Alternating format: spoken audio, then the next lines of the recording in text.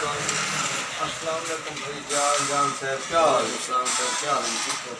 क्या तुम्हारी दुकान का सही ना है?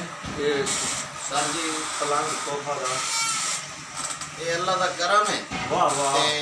ना मेरी दुकान का हाले तक यही वाह वाह ये क्या बात है ना सब बोर्ड नज़र आसी बारू। वो मैं के वाह ना कोई शे नज़र आसी कम तो बहु आर्ट दस्त ਬੋਰਡ ਨਜ਼ਰ ਆਸੀ ਬਾਹਰੋਂ ਉਹ ਮੈਂ ਕਿ ਵਾਹ ਨਾ ਭਾਈ ਕੋਈ ਸ਼ੈ ਨਜ਼ਰ ਆਸੀ ਕੰਮ ਤਾਂ ਬਹੁ ਆਰਟ ਦਸਤ ਅ, ਕਾਰੀ ਦਾ ਬਿਹਤਰੀਨ ਹੱਥ ਦਾ ਕੰਮ ਬੜਾ ਸੋਹਣਾ ਫੁੱਲ ਬੂਟੇ ਨਕਸ਼ ਨਿਗਾਰ ਬੜੀ ਇਹ ਤਾਂ ਬੜੀ ਨਾਯਾਬ ਕਿਸਮ ਦੀ ਲੱਕੜੀ ਦੇ ਉੱਤੇ ਅੰਬ ਤੇ ਦਿਆਰ ਦੇ ਉੱਤੇ ਬੜਾ ਪਿਆ ਖੜਾ ਹੈ ਪੁਖਤਾ ਟਾਲੀ ਦੇ ਉੱਤੇ ਪੁਖਤਾ ਟਾਹਲੀ ਦੇ ਉੱਤੇ। ਜੀ। ਸ਼ੀਸ਼ਾ ਮਾਰ ਕੇ ਸਖਤ ਸਖਤ ਲੱਕੜੀ ਹੈ ਸਖਤ ਜੀ ਜੀ।